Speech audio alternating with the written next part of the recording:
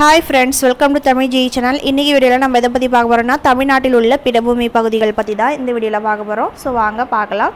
பாரமஹால் பீடபூமி. இந்த பாரமஹால் பீடபூமி வந்து என் முக்கியமான பகுதி. இந்த பாரமஹால் பீடபூமியில் இருக்க முக்கியமான மாவட்டங்கள் எதுன்னு பார்த்தோன்னா தர்மபுரி மற்றும் கிருஷ்ணகிரி மாவட்டம்.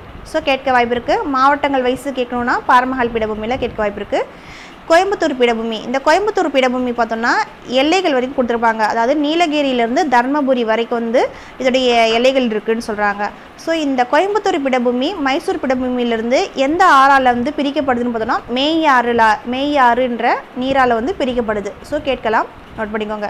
இந்த மதுரை பீடபூமி இந்த மதுரை பீடபூமியில் அமைந்துள்ள ஆறுகள் என்னென்னு பார்த்தோம்னா வைகை ஆறு மற்றும் தாமிரபரணி ஆறு.